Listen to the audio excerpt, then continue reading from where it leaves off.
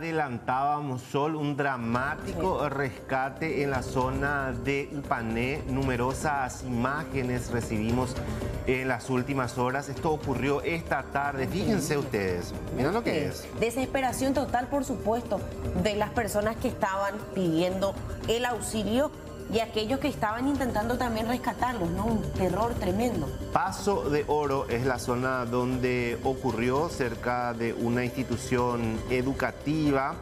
Eh, pudo haber sido una verdadera tragedia y este es, esta es una de las imágenes del dramático rescate. No sé si tiene ambiente para compartir un poquitito.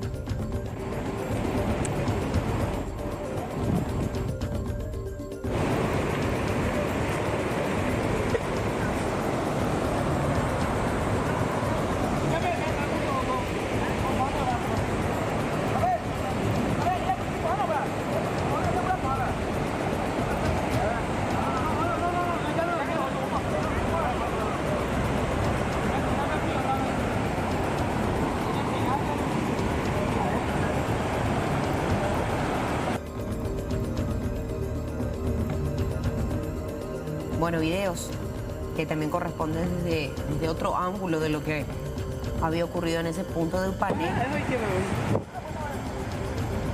Varias personas estaban en el vehículo volando, creo que son dos.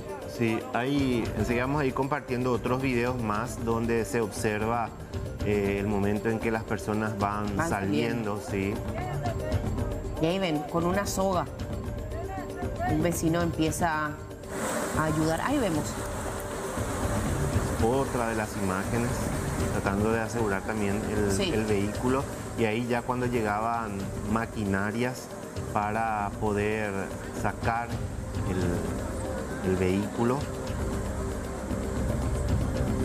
que quedó de esta manera. Hubo una fuerte lluvia y esto hizo que también se desbordara eh, el arroyo y consecuentemente arrastrar a este vehículo. La intención eh, definitivamente era sacar primero a los ocupantes del automóvil y también impedir que el agua arrastrara el automóvil que vemos allí en imágenes. Tuvieron bomberos, también eh, pobladores de la zona, todos participaron de este rescate que se dio eh, en la zona de un puente detrás de la escuela Batalla de Utonono en Paso de Oro eh, Ipané. Dice, por la lluvia aumentó el nivel del, del agua, es lo que nos mencionan nuestros televidentes que nos están escribiendo. Ahora, Rolando, lo que podemos confirmar afortunadamente es que no hay personas heridas, eh, fueron finalmente todas evacuadas de ese espacio, asistidas. Ahora sí, lo del vehículo, punto aparte, ¿verdad? Entendemos que eh, ya eh, una pérdida enorme, sin embargo, podemos decir que afortunadamente pudieron ser todas las personas involucradas rescatadas. Reiteramos, ocurrió hace instantes en la zona de Paso de Oro